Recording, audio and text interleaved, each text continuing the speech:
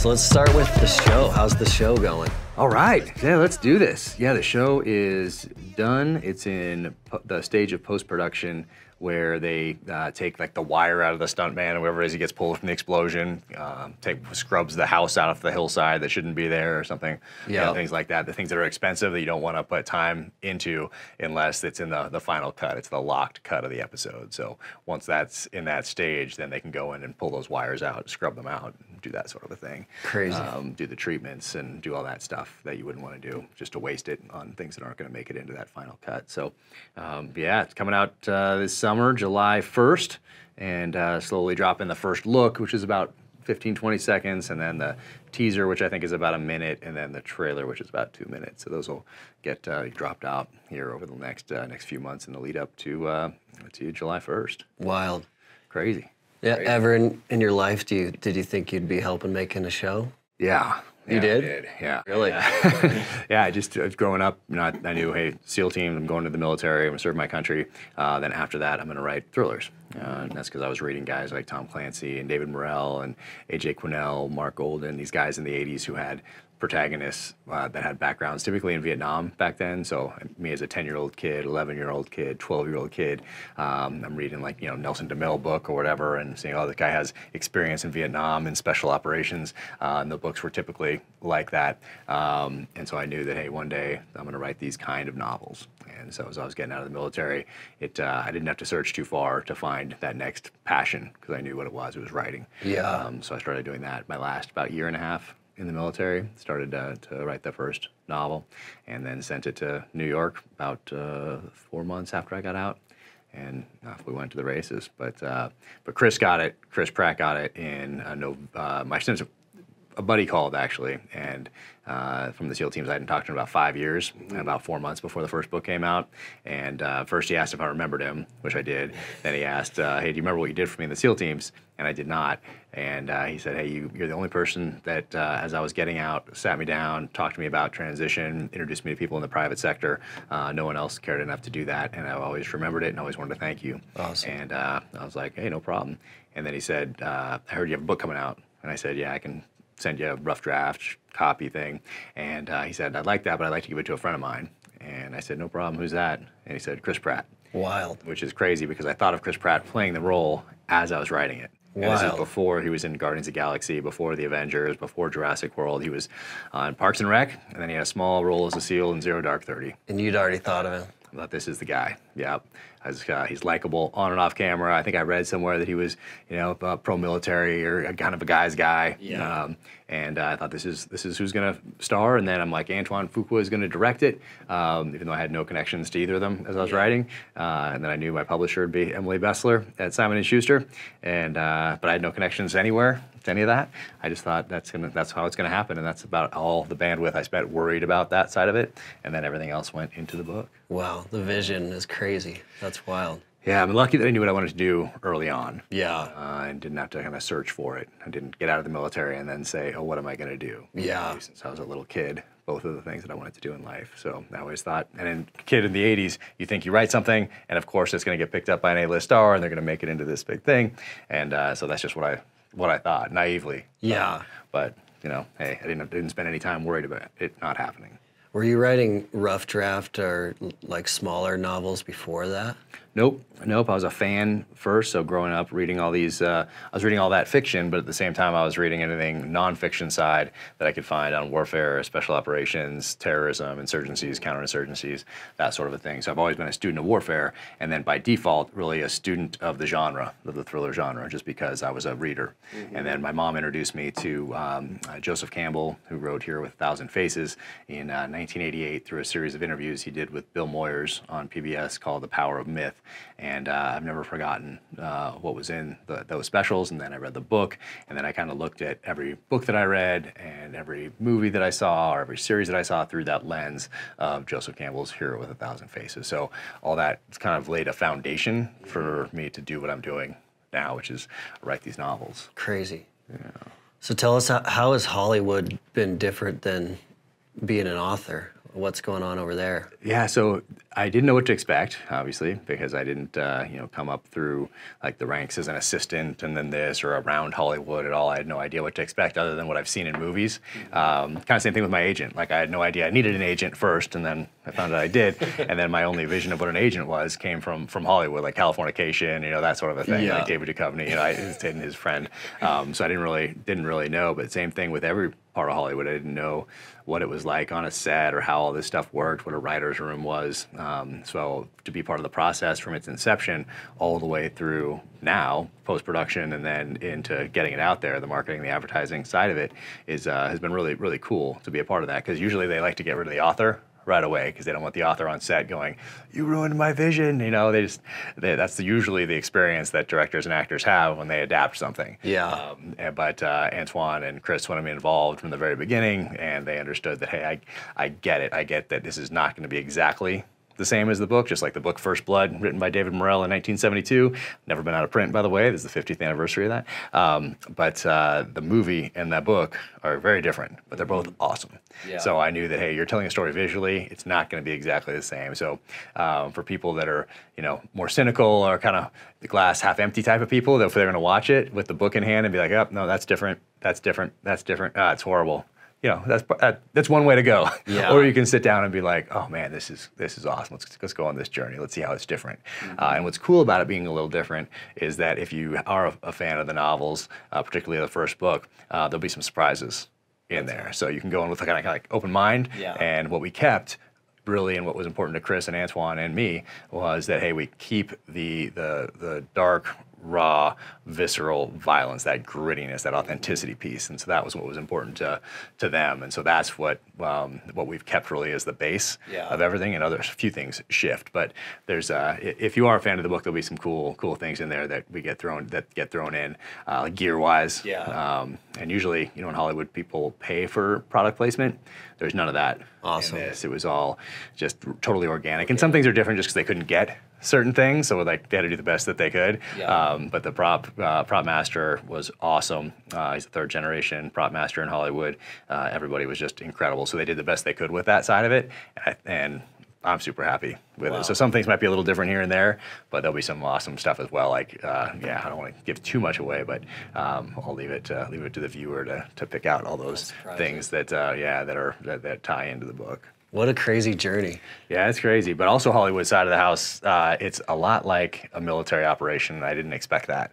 So the first day I walked onto set for that first first episode, and I immediately noticed how similar it is to the military in that everyone is so good at their specific jobs. Um, so like in the platoon, you know, you have your medic and your armorer and you know your breacher and all that sort of sniper, free fall people, like that sort of a thing.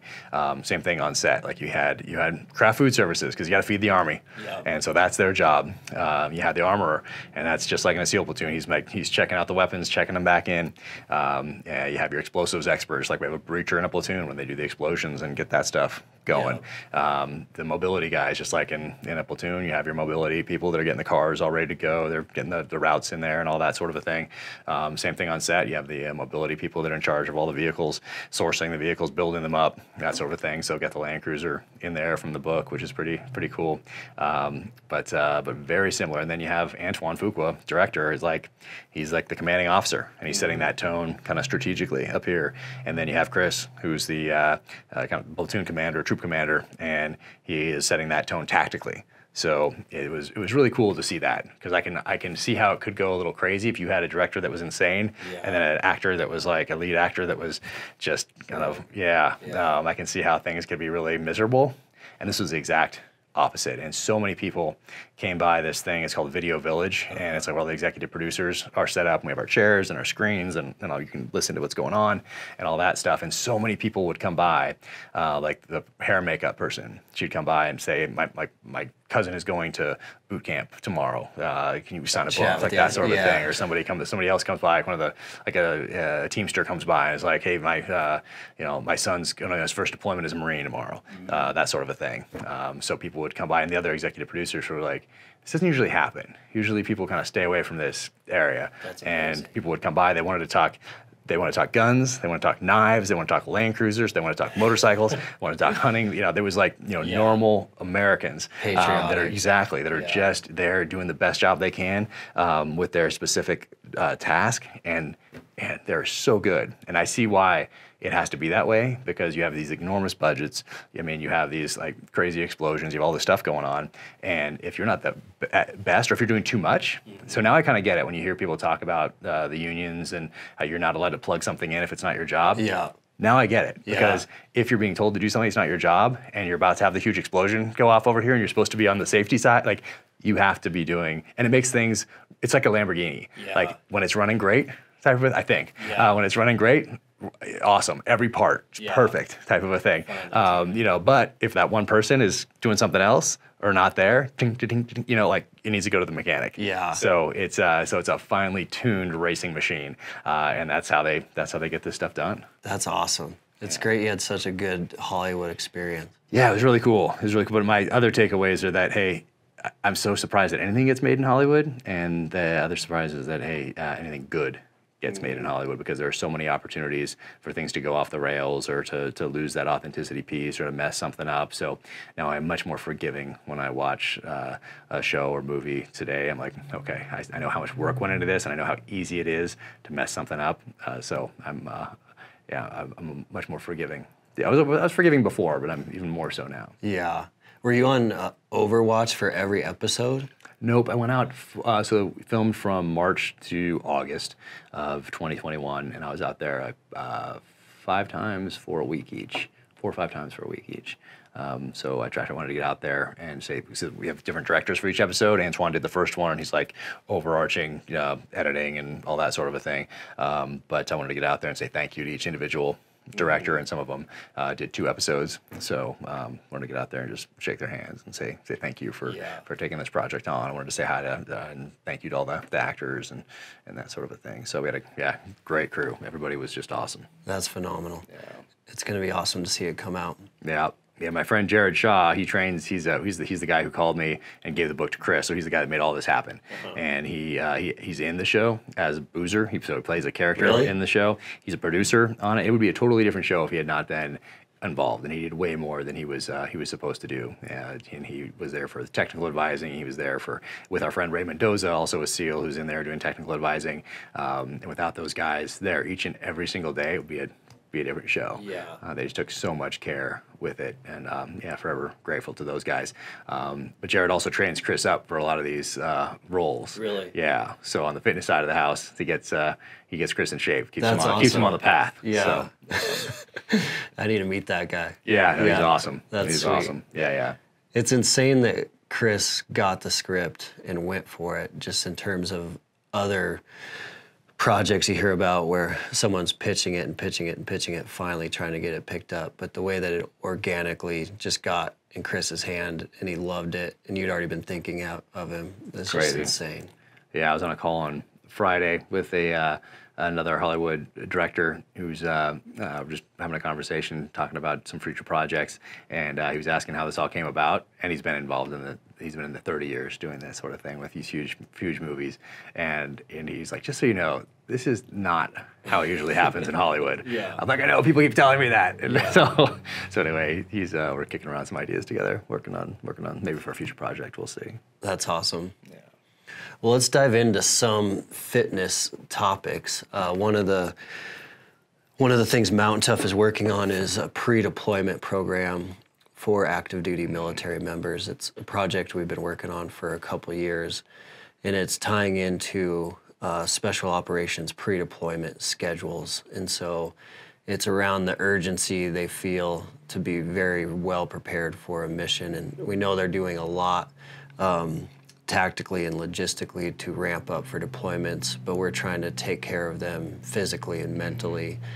And just wanted to pick your brain on what you used to do, what worked, what didn't work, lessons learned around that pre deployment window. Yeah, yeah, no, it's uh, it's evolved so much over time. So I was in for for 20 years.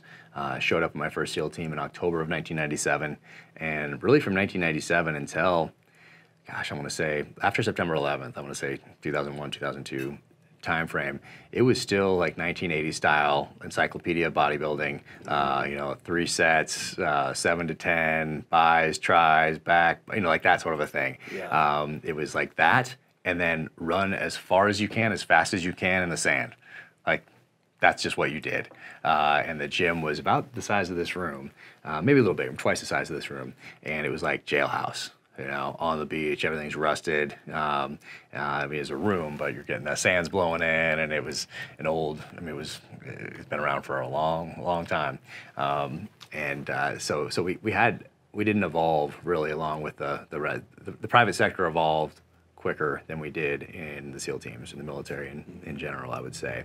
Um, so we were definitely stuck in the 80s as far as that that went, just bulking up, you on deployment then, and you're just like getting after it, you know, just getting huge. That Yeah. that was what you want to do, and then and then some guys would, would run, some guys would do like triathlons or, or stuff like that. But uh, for the most part, it was just like get in there, and it wasn't even like deadlifts, wasn't even that sort of a thing. It was just yes, Yeah. it was bodybuilding and then running. like that's it. Maybe throw a swim in there, you know, every now and again. but that was pretty much what it was. And then I think I started to notice the shift when, uh, and I don't know if it was just the private sector that uh, was just evolving, and September 11th happened to throw, toss us into combat, which we hadn't really been in sustained combat operations since Vietnam. Um, you know, we'd had flashpoints at certain places like Grenada, Panama, uh, Mogadishu, but we hadn't been in sustained combat operations since Vietnam. Um, so I don't know if it was the uh, uh, you know, technology and people just focused on the uh, on fitness in general and nutrition and sleep and functional fitness, all these things, or if it was like, hey, we're in combat now, and guess what? At 10,000 feet in the mountains of Afghanistan with this 100 pound pack on my back, um, guess what? That the bis that I did the other, it's not really. There's better things we can do. So I'm not sure exactly, you know, what what did what, but it all happened to kind of coalesce around 2001, 2002, 2003 timeframe where people started to really look at, okay, let's work out not to look good in front of the mirror, but so we can do our jobs better. And it seems like a strange better. thing to say, but we thought back in the day, like in the 80s, you thought Yeah. that this was going to help you do, yeah, thought that that was going to help you, you know, be in shape for whatever, for life. Yeah. And that really, when you started, you know, going, working at these high altitudes and going over compound walls and through windows and then dragging people or, you know, doing all these things, it wasn't, it didn't really work out Mm-hmm. that way. There were better things to do. And of course, you know, CrossFit hits around at that same time. People Yeah. start becoming more, more aware of this thing called functional, functional fitness. Um, and then it took, gosh, I want to say a few more years until we actually hired people at the team. So it didn't just become like a guy in your platoon who's like, hey, you know what we should do Yeah. is uh, maybe we should do this, this, this, and this to get ready for for a deployment. Um, where it kind of became something that uh, the community did and embraced as a whole, and we started bringing people in who had come from professional sports, uh, that kind of a background, and we brought some really amazing people in um, that uh, at first I think they came into more like the rehab side. This is and this is just my perspective. Other teams, other other people might have totally different experience, but the way I saw it happen was that they came in on the rehab side first. And then, mhm. so you go to surgery, and then, hey, well, let's, let's do some prehab stuff. Let's get you ready for your surgery. And then after your surgery, you're coming back in here, and we're going to get you back ready to go out and fight. Um, and so that's kind of where that focus was, I think, in my perspective. And then it kind of grew from there. It became, hey, it's not just for rehab and guys that are going in for surgeries and getting guys back in shape. It's we need to be ready to, to fight and take some of these lessons and some of these best practices and things that we're learning from professional sports or, or whatever else uh, and put them into programs that prepare our guys for battle so they can do the jobs to the best of their ability.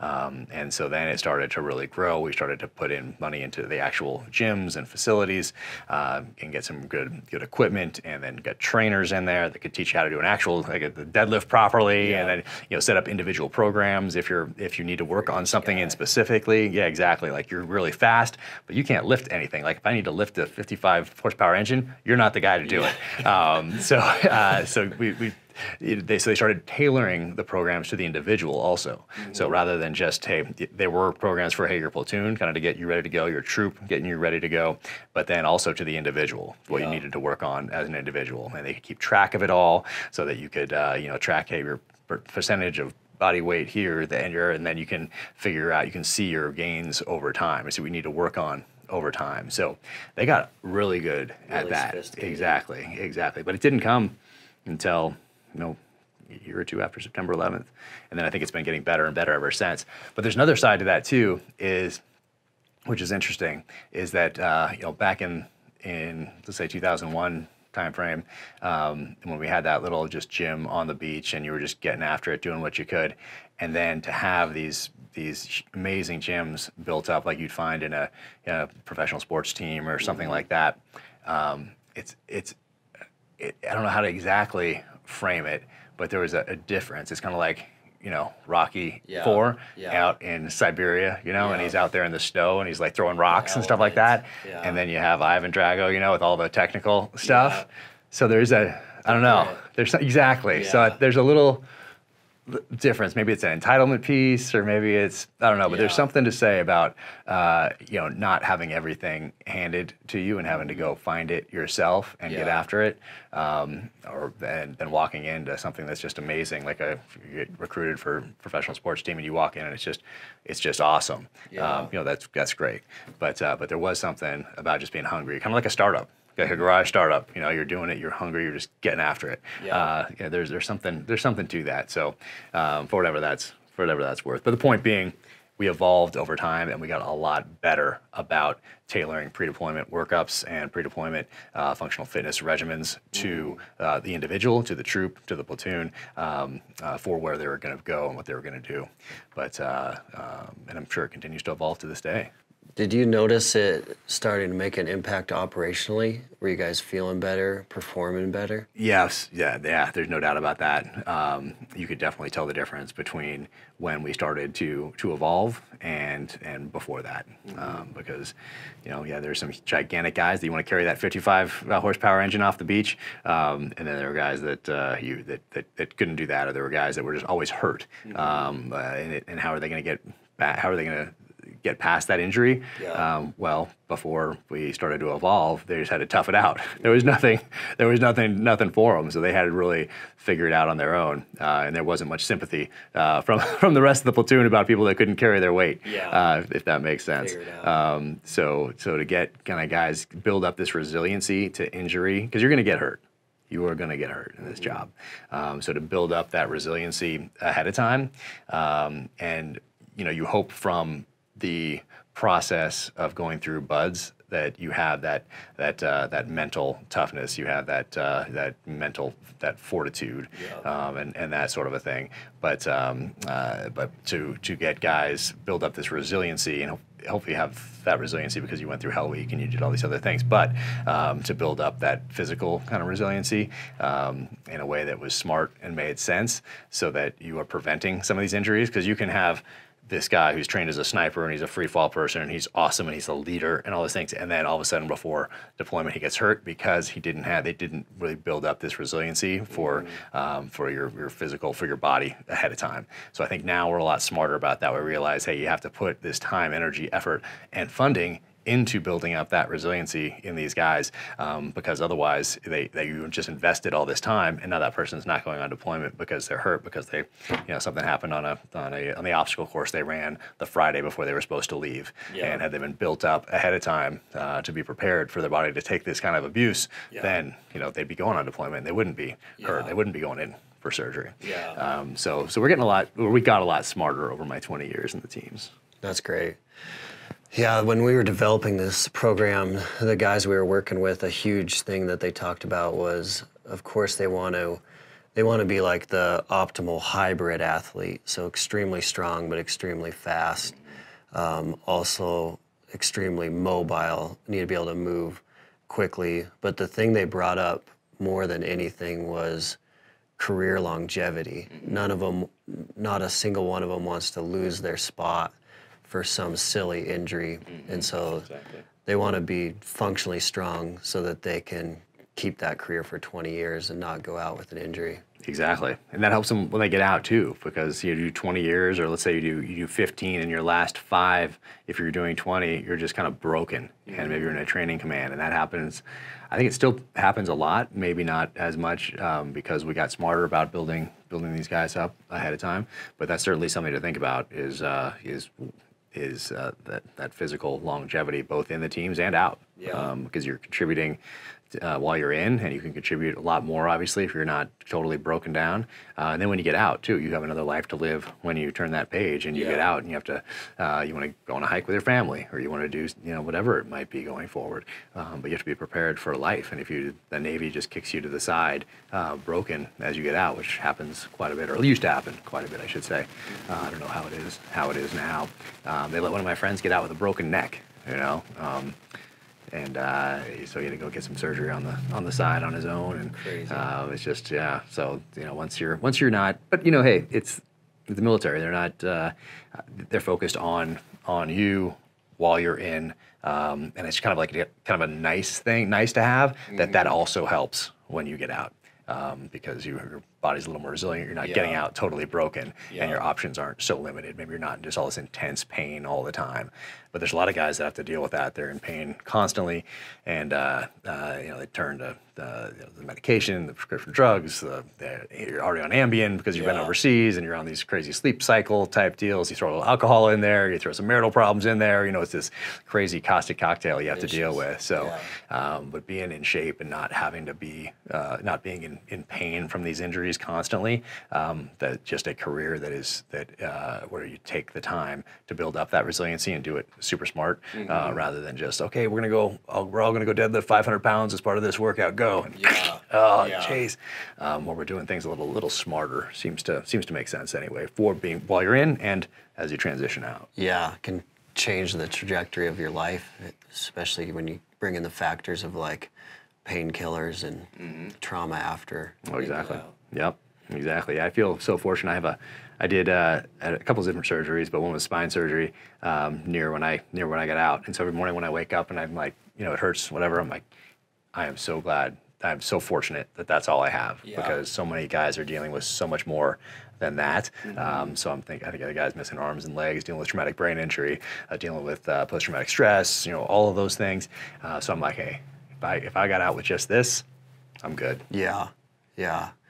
When you were when you were in, was each team guy picking their own training plan and going with it, or were you guys going through it together? Uh, it depended on the the time frame and the team, your coast, uh, a whole bunch of, of different factors, um, and I think it, it morphed over time. So they really tried to get everybody doing it, going through together. But then you have you have a box of training where you're going out to the desert and you're spending a month out in the desert and you're just going the entire time doing land warfare stuff. So it kind of falls off um, and then you come you come back. So they really had to look at the training schedule for each individual troop platoon uh, and figure out the best way to incorporate this in there. Because once you're out, when you're out in the desert for a month running doing these things, I mean, you are going uh, All day. all day, all night. Yeah, because you're working at night, you're working during the day. Um, it's crazy. The temperatures are insane. Either they're super freezing or they're boiling hot. You know, there's just so much going on. Um, um, so there's not time to hey, we're going to do an hour and a half in the morning or an hour or even a half hour um, because you're training. You're doing the training for the job. You're not doing the resiliency type training stuff or building building you up. Um, but then when you get back, maybe you have a week. But then during that week, guess what you have to do? You have to do X, Y, Z. Guys are all over the place doing different things. So it's really tough to, to keep guys on a program as a group because so you have to do so many different things once you're back in garrison. So it is it is definitely tougher to do than one would imagine just looking at it at the outset. Um, so point being is that it was different depending on the platoon, depending on the person, depending on who was in charge, and it's kind of morphed over time. I mean, ideally, you'd want everybody going through this- something together and help build camaraderie at the same time and getting everybody ready to go overseas. You're kind of getting the same same inputs, um, but that wasn't really how it worked. Just the schedules are so insane. So um, so a lot of it did end up being more individual utilized. Um, and for, for guys that wanted to, to, to really embrace it, then they could.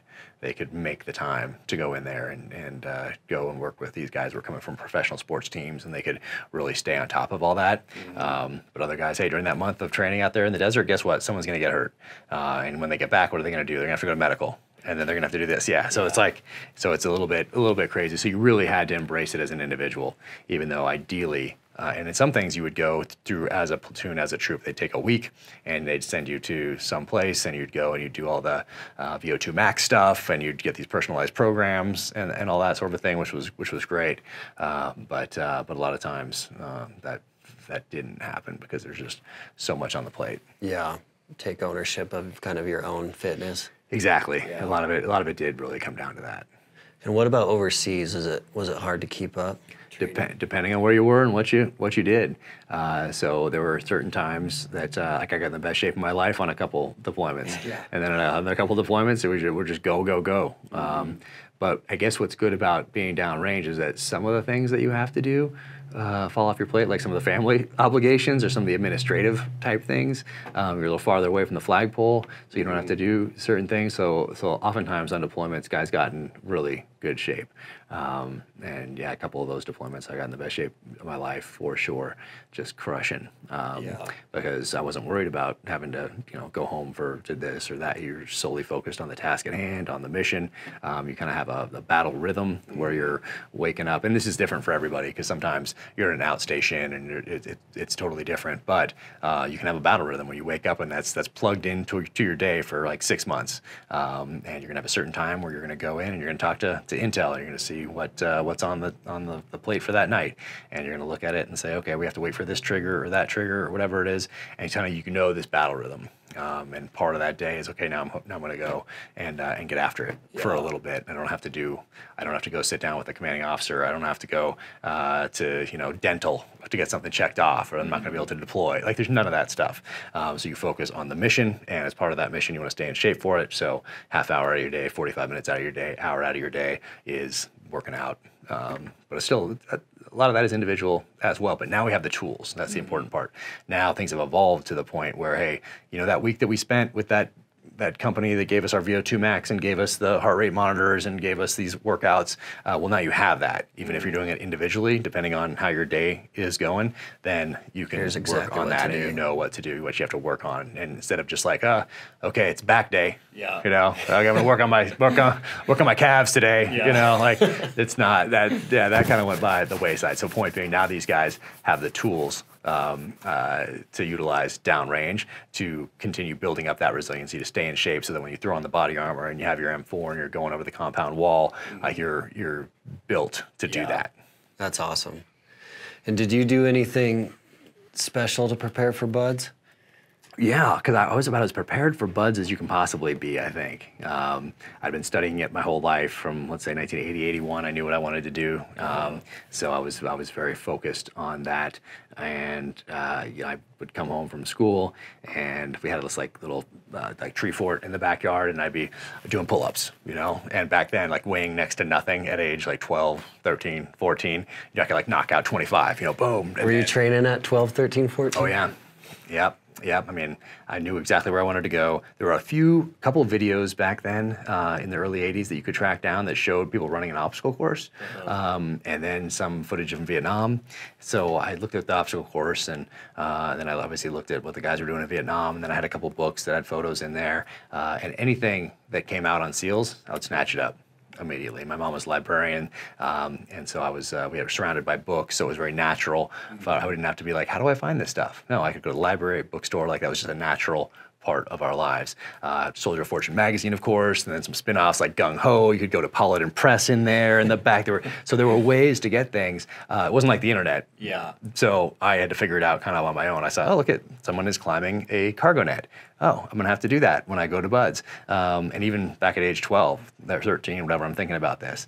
Um, and then I'd see them doing like uh, stuff like across the monkey bars and the spider wall and looking at all these things. And so even though I didn't put it in terms of fun- functional fitness, um, you know, that's what it essentially it was. And of course, I'm watching Rocky movies back then. I'm all fired up. Uh, but I got to go into the basketball hoop, not the hoop side, but the stuff that attaches it underneath. So I was like, you know, pull, doing this. I was doing different grips, like all that sort of a stuff. I would climb ropes in the backyard because I saw people climbing ropes on obstacle courses. Uh, and then you'd see it in some movies also, obviously. So I tried to do what I thought would prepare me for BUD/S. We had a really steep hill. So I do sprints on that hill, come back, jump under the basketball hoop, do the pull ups there, um, then climb onto the roof of the house. I have my bow up there, and I'd shoot down like at an angle with my bow back then. Um, yeah, climb up, do the rope climbs in the trees. I'd rappel out of the trees, like uh, rappel down our chimney. Like I was just kind of teaching myself how to do all this stuff and doing it.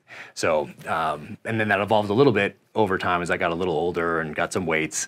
Um, of course, back then it was like two little 10 pounders or whatever. And I'm doing like, you know, like, you know, that's what you do when you're a kid. You don't know. There's no Yeah. internet. You can't figure any of this. You know, you're just doing what you think you're, you know, you're supposed to do. No YouTube. Um, yeah, no YouTube, nothing like that. So you're doing push-ups, you know, you're doing sit-ups and uh, doing some pull-ups and doing some sprints and doing some rope climbs. And, you know, back then that was, uh, that was pretty good. Uh, then as I got a little older, of course, 16, 17, 18, 19, and um, then you get a little more, little more sophisticated, but this is still, you know, early 90s, mid 90s. How old were you when you went? Uh, I was 21 when I went in, you know.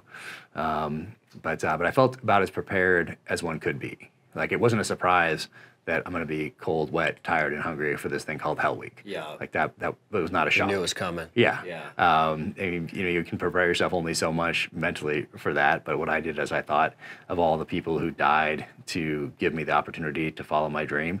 So I thought of the guys going over the beach at Iwo Jima, Normandy, and I'm like, okay, it's Tuesday night of Hell Week. I'm in this freezing cold water. Uh, people are quitting in droves. But guess what? I'm not crossing the beach um, uh, over open terrain into a hail of machine gun bullets from somebody that's set up in an elevated position and has me in their sights. And people died there so that I could be doing this. And I was like, oh, okay, I can do this for another hour. I can do this for another couple hours. I'm fine. I could. So I, I, I looked at it and I put it in perspective, um, which I think really helped on the mental side of the house.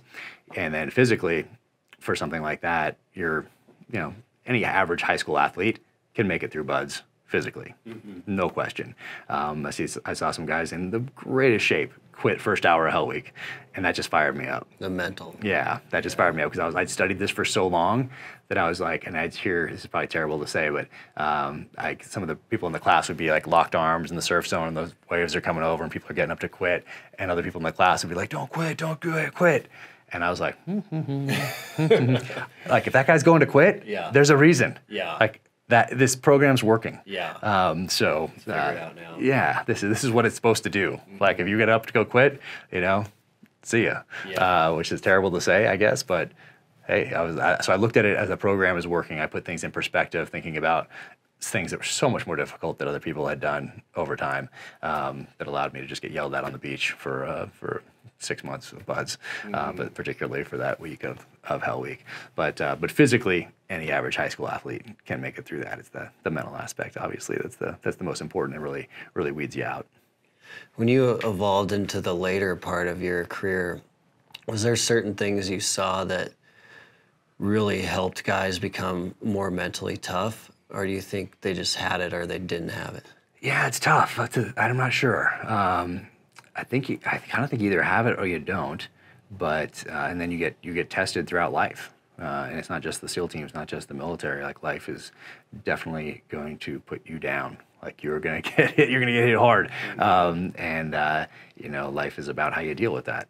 Um, and the military, you just you're just choosing like in Hell Week to get hit. Yeah. Uh, you're choosing to go in the military, knowing that you're gonna that you're gonna get hit because it's a test. You're it's a crucible, and you're putting yourself in this in this test. But guess what else is a crucible? Life. Yeah. Like you are gonna get hit and you're gonna get knocked down. Uh, so don't let it be a surprise when it happens. You know what I mean? Um, so uh, so over time, I guess you know I don't know. If, I guess I'd say very few people made it through BUD/S, and then also um, you know combat's a different deal because it's real. And I guess you know you hear stories. People, some people would go and you know uh, kind of get out when it got real. You know that's another test right there. So okay, you know thank you for for getting out or for going to like a, a unit somewhere where you're not going to deploy um, and kind of helping administratively because maybe you're not cut out for this maybe this isn't your sport you know and i'm glad that you recognize that and are, are moving on and uh, you're not putting everybody else in danger by coming down because you feel guilted into it or whatever it, it might be. But um, uh, but yeah i think that resiliency just builds up over time and there's not something specific. You know they did they did start doing some things especially after the, they realized that hey this combat is affecting people uh, physically uh, mentally, emotionally, spiritually, even. Um, maybe we need to do some things to take care of these guys. So we started doing these stops on the way home. I forget what they were called right now, but you'd stop in Germany and they'd have uh, some people there you could talk to if you needed to, kind of kind of reacclimatize you to. I think I only did one of them in all my deployments. Um, one of them, like to 2006, I was in Baghdad one night, and then I think it was like 40 some hours later, I'm home, like changing my first diaper, um, and uh, that was kind of crazy. We stopped in. I think we flew from Baghdad maybe to Spain, I think, and then and then home to the East Coast. So I so it was very short layover for crew rest. I think some some yeah. So that that was interesting. So they so everybody was doing that, and then they were like, you know what, we need to have these these rest stops, or they had another name for it, but uh, we'll stop they'll take three or three, maybe even four days, uh, take a breath, uh, stay in a whatever in a hotel. No, uh, you're not going to get hit with an RPG. Your mortar's not coming over the wall. You'll be able to take a breath, get back on a good sleep schedule. Mm-hmm. That way, people here to, to help if you need to talk to, to anybody, and you kind of just take a breath before you get thrown right back in the in the mix at home. So they started doing that, and I guess it was good. But then I think we, guys just started using it as a as a uh, as time to unwind and just for, get crazy, and then like yeah. So I don't know, but uh, but something along those lines is probably is probably helpful. Um, but uh, yeah, resiliency wise, mental toughness wise, yeah, you're going into combat and you're coming home, and I think just naturally, you're that's just once again part of life, whether you're in the military or not. Like if you didn't go to combat, guess what? On the home front, you're going to get hit somehow. Mm-hmm. Don't know what it is, but something's going to happen. Um, and same thing, same thing in combat. So both home front and uh, um, uh, for for citizens that aren't in the military, and then for people in the military, it's just life in general. Like you're going to have things that are going to test you, and that you're going to either that are going to make you stronger going forward, even though they are very difficult to get through in the moment. Mm-hmm. But going forward, that is going to help you be a stronger, more resilient person and you can pass lessons on to the next generation to hopefully make us all stronger as a whole yeah. moving forward. That would be ideal. Just expect adversity. Yeah, I mean it's coming. It's coming. Mm-hmm. Yeah. No matter what, no matter what you do, adversity is coming. Um, last question I had for you today, just wrapping things up. Um, I was curious when did when did your passion for hunting start? When did you get into that? Um, how has that helped you you know, just be a better man? Is this something that you dove in later in life or early in life? Yeah, so I was always always drawn to it early in life, and I'd see uh, my friends going off and, and hunting, and, and, we shot in our house, so we would go to the range and shoot and that sort of a thing. But we didn't we didn't hunt growing up. But I was always drawn to it, just like I was drawn to the, the military. Um, like it was a calling to join the military. It's, it's a calling to hunt. It's a calling to um, be prepared to defend my family if need if need be. Like those are just natural things to me. Mm-hmm. Uh, so even though I wasn't actively hunting growing up, um, I was thinking about it and I was drawn to it. And just my family, we would go backpacking, you know, this year. We would go river rafting, we would go rock climbing, we would do that that sort of a thing, um, mountaineering. Like we were outside, but we just it wasn't with a rifle. Yeah. But I was out on all of those things. I was like, man, I wish I had a rifle or a bow. And I remember we were going, my dad and I were going into um, uh, into the Sierras uh, from the eastern side and I think I was 10. And we were going in, it was raining, and this guy was coming out. And he was in the uh, woodland, just cotton, whatever, in the rain. Um, but he was in just this, he was, he was soaking wet, and he was in military woodland camis, mm-hmm. and his face was painted, and he had a bow. Oh. And I was like, Whoa. I'm like, that's my that's my guy. Yeah. Like that's what I want to do yeah. right there. And I was just drawn to that. But see him coming out, he didn't have a pack on. I remember to this day. I mean, that's been out a long time, 1984. Anyway, um, uh, he didn't have a pack, just a bow, uh, but he was all painted up. And it was yeah, it was in raining, so all the you know it was dark, uh, so that camo was was dark. And I remember him coming out on the trail, and we were going in uh, with our backpacks, you know, bright red backpack, you know, whatever, going in. Kelty, Kelty external frame pack, I remember. Um, and I was like, oh man, that is awesome. Of course, he was at the, the, Marine Corps Mountain Warfare Center, Training Center, which is which is there, kind of in the on that eastern side of the Sierras. Um, and uh, so I, he, I pretty sure anyway that he was attached there somehow. Probably a day um, off. So yeah, hunting. exactly, exactly. So uh, my first uh, I quote unquote real hunt that I think of as my real hunt is uh, part of sniper sustainment training. So uh, early on in the SEAL teams, I went to sniper school, and then they started doing this sniper sustainment training rather than just uh, going to a range and, and, shooting after you went to sniper school. Um, they wanted to continue to develop your skills, and back then it was really skills that were based on the Vietnam experience. So working with a, a spotter um, and uh, working in working in pairs, traveling, finding your target, like just like you would read about in Vietnam, like a Carlos Hathcock type of a, a scenario. Mm-hmm. Um, that evolved very quickly after September 11th, and things became different when you started going in with sniper teams in an urban environment and, and all that sort of a sort of a, a, thing. But as part of that, we went to a place, and I won't say the name of it because I don't think they they advertise it, but it's in Washington State, and uh, it was awesome. It was first uh, my first hunt.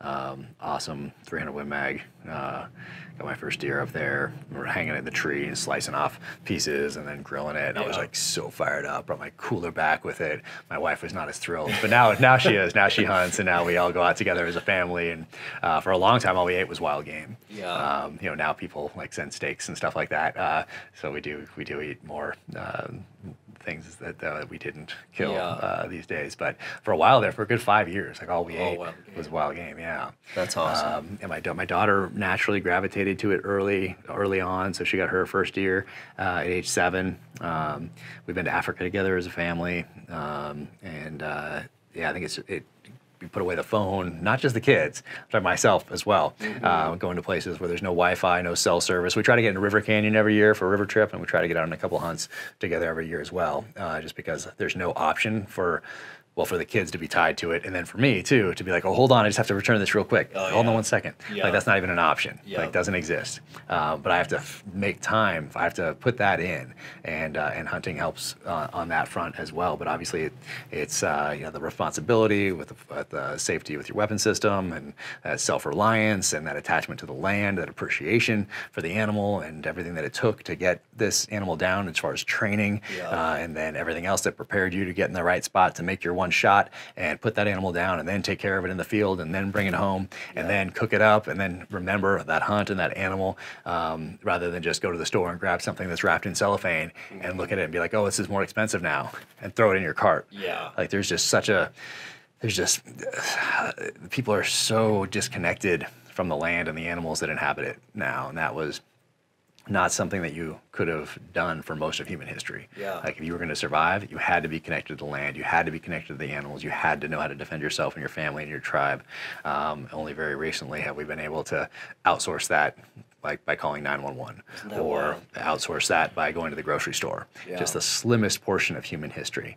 Um, yet that disconnection from the land really impacts all of society, I think. So for, for us as a family, it's very important to get out there and for our kids to have an appreciation for the land and the animals um, and, uh, and realize that, hey, this, this steak out of my plate or this, the, the meat in this spaghetti uh, sauce, mm-hmm. like that came from an actual, you know, living, breathing animal that, uh, that, that somebody put down at some point and worked to get here on my plate. Yep. Um, so so that, that appreciation I think is uh, incredibly important and is lost in many segments of society today. Mm-hmm. But um, but point being, after that that hunt, September 11th happened not so long after that, and the hunting kind of shifted, obviously, to hunting mm-hmm. of people. But there was so many similarities uh, in establishing a pattern of life on a target downrange. Same mm-hmm. thing, like you, have a trail camera, you want to know where you know, where they're going.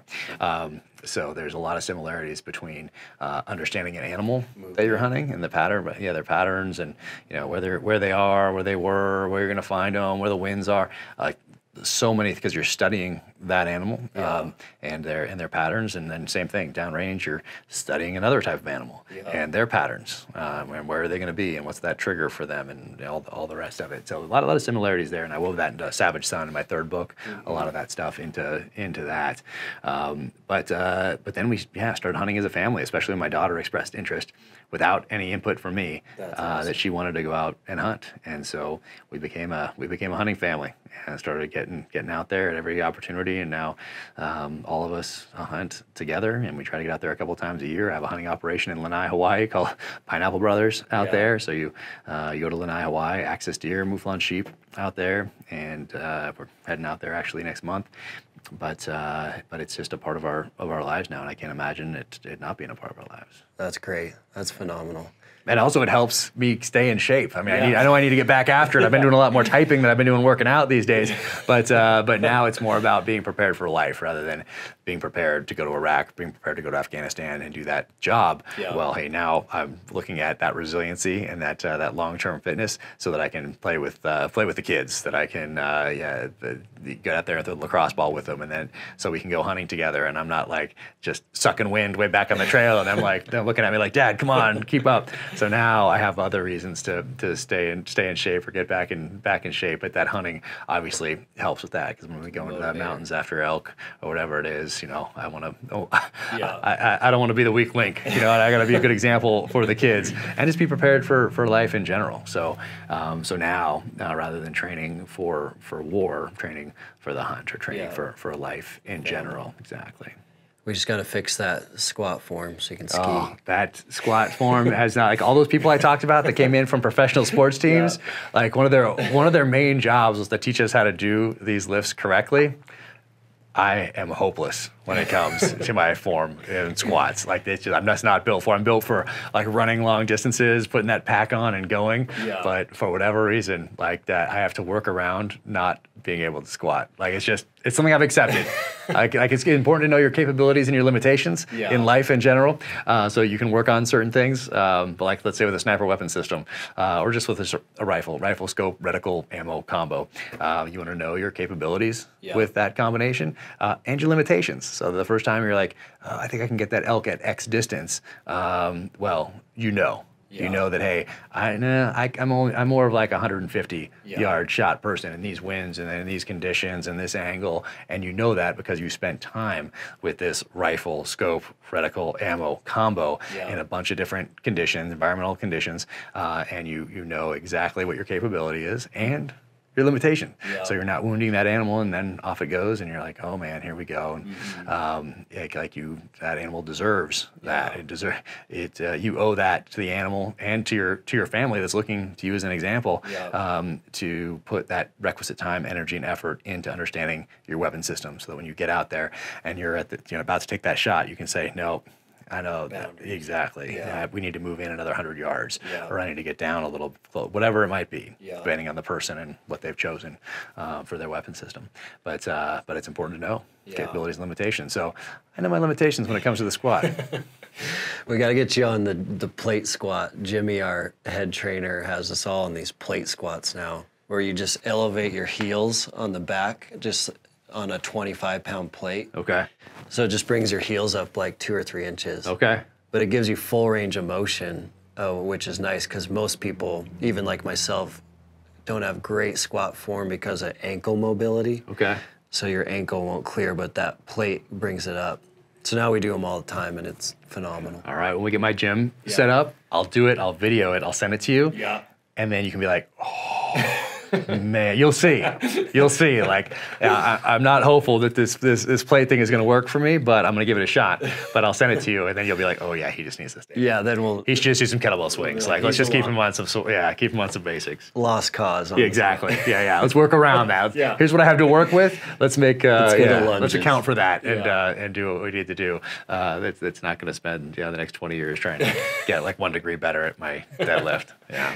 And you're gonna do the Rocky Gym. Yep. Yep. Rocky Gym outside. Uh, and just in the snow and the rain. Uh, once again, going back to what we talked about earlier, like there's something something to that to not having a perfect, pristine type of uh, type of a setup. But uh, you know, eventually when we build the barn, we'll get some stuff inside, but it'll still be more Rocky-esque than uh, than just perfect, sterile. You know, super high end. It'll Yeah. be it'll high end as far as you know Sorinex type stuff and that Yeah. that sort of thing. But all good, solid stuff. But it won't be won't be Ivan Drago. That was a very influential movie. Yeah. Uh, yeah. I think it came out in 1985. Um, very influential movie. Uh, in my in my youth. You know, you don't be Rocky, you don't be Ivan. You know.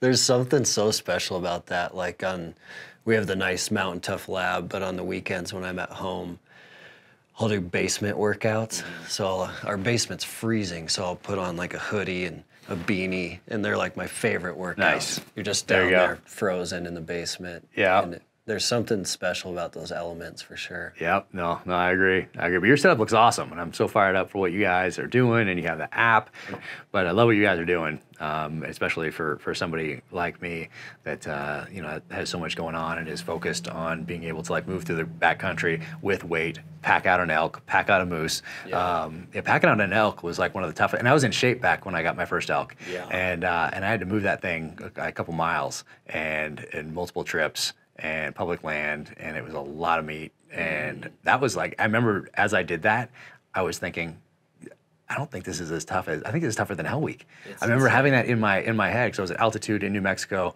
and you know it's packed up differently than the perfect like 25 pound weight you put on a pack or tie into your pack or sandbag you put in that's like perfectly Yeah. aligned on your pack, like carrying out like a hindquarter that's just not Bulging. exactly. So Yeah. it's diff it's a different kind of weight, Yeah. and uh, and now that uh, that that's you know kind of focused on that, um, I need to I definitely get ready for for that kind of a uh, an endeavor uh, is carrying out something like that, packing in, packing out, multiple trips, and uh, and having that weight that's just not perfect on your back. You know, it's There's like- nothing like it. yeah, It's, it's not like things. Things in real life, it's not you know climbing over a compound wall. You know, isn't just this. Yeah. You know, you have you need to do more than just this. I mean, it's great to be able to do that, but Mm-hmm. also to do the other things that allow you to move with that with that rifle and with everything else that you have have Yeah. going on. Um, but same thing with packing that uh, packing that elk out, or packing a moose out this this summer. Luckily, we got some horses in fairly close, so I didn't have to go that far. Thank goodness. Yeah. Um, but or this fall, but uh, but being able to to carry that stuff out and not looking at it like, oh man, I don't know if I can do this. Mm-hmm. Like, hey, being confident that uh, that that you've trained up and prepared enough Yeah. that uh, yeah, this is going to be. I'm going to get some right now, Yeah. but I'm about as ready as I can be. Yeah. So so thank you guys for for doing what what you do, and uh, man, I'm excited to to uh, to get get on the program. I'm excited. I'm excited to see you out there in the with the app at the Rocky Gym. That's it. Yep. It's be coming soon. Coming soon. And thank you. And we're stoked for the show. Can't wait. It's gonna be amazing. It's looking good. It's definitely definitely looking good. People are going to be surprised at Chris because they've only seen him in, in some of the other other films. Like he gets he gets dark. Yeah, he gets dark. in serious this. in It's, this uh, yeah, it's good stuff. That's gonna be amazing. Thanks, man. Well, thanks so much. Appreciate your time. Absolutely, absolutely. We'll get hit, we'll get in the gym soon. Yeah. Awesome. Take care, man. Thanks, Jack.